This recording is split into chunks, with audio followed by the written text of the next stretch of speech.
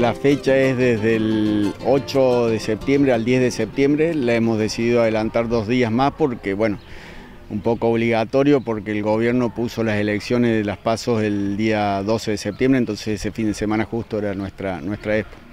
¿Qué se puede hacer este año? Contanos cuál es el límite que vamos a bueno, un poco, un poco siguiendo la línea del año pasado, Principalmente la, línea ganadera eh, se va a hacer la admisión acá, se va a hacer jura de los reproductores porque los productores quieren ver su premio, quieren ver su toro, quieren ver cómo salieron. Entonces justamente lo vamos a hacer con todas las medidas de seguridad del COVID que tengan que nos habiliten, la vamos a hacer presencial. Y después las ventas van a ser todas, eh, va a ser presenciales y virtuales, transmitidas por el streaming de los canales nuestros. ¿no? Bien, eh, ¿quiénes pueden participar en estos remates?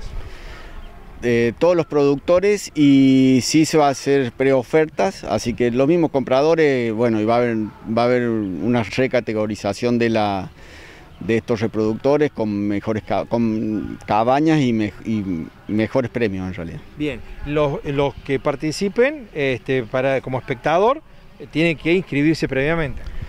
Tienen que preinscribirse, no, no es para público en general, si no están inscriptos y no están registrados no van a poder venir ni van a poder presenciar la expo. ¿no? La jura es el segundo día, el día 9, el día 8 van a ingresar, el día 7 y 8 empiezan a ingresar los toros y se hace la admisión, el día 9 jura y el día 10 es venta. En la parte principalmente de maquinaria y autos eh, van a poder participar, pero recordar que no está abierta para público en general, que venga a recorrer, a recorrer la expo. Y por supuesto va a estar también la, la expo virtual que se, que se hace en la app de la rural. Sería. Bien. O sea que las empresas que lo deseen pueden armar su stand aquí este, físicamente. Así es, así es, pero recordemos que no está abierta para público en general. Vamos a tener el Agro Day y capacitaciones ganaderas que van a haber distintos disertantes, que son todas por streaming, nada presencial. Y después, bueno, tenemos que terminar de, armar el tema ovino, que ver cuándo ponemos el remate, si es el mismo viernes o el sábado de la mañana posiblemente. Este año lanzan la experiencia ganadera. ¿Qué significa este término y cómo se va a implementar?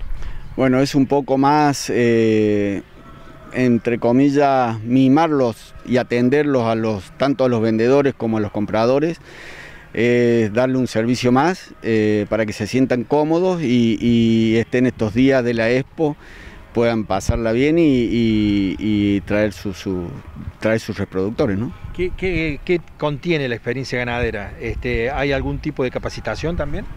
Hay capacitaciones, va a haber una carpa, una carpa con diferentes stands y donde se los va a atender a los productores.